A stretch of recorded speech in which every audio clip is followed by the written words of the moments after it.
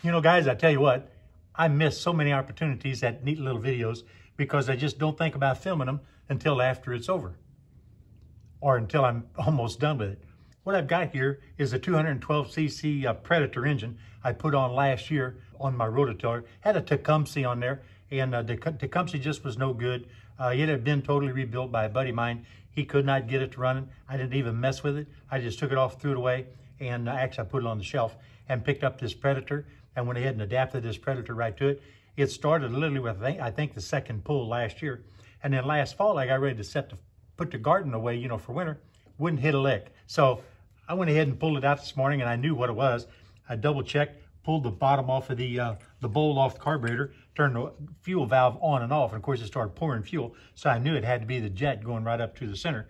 And also, while I was pouring fuel out, I fiddled with the float up and down, you know, and it stopped and started, stopped and started. So I knew it wasn't a problem with the main needle. So I knew it had to be this orifice. So I went ahead and dropped it out of there. And sure enough, there was a thin film. You could, it was opaque. Uh, it was kind of yellowy looking. So it was almost like the old varnish that we're used to seeing in the old, old gas. But it was just kind of yellow and I could not blow through it. But I went and, and shot it with carburetor cleaner, hit it with a little breath of fresh air, you know, on the air compressor, and it popped it right out. So now I'm going to put it back in walked back over here and I thought, why didn't I tell you guys that this is the first problem I've ever had with Pri-G? With my bigger carburetors and stuff on all the tractors, I've had absolute no issue whatsoever. Um, all my chainsaws, all that stuff, I treat all that fuel and don't have any issues or haven't had any issues. This is the first time. And I just completely forgot to even even think about filming it. So at any rate, I'm gonna put this back in here and see if it'll start up.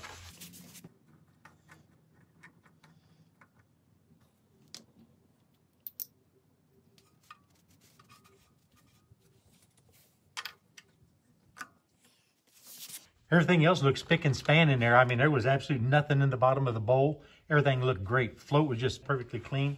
So hopefully uh, it'll fire up a little bit easier.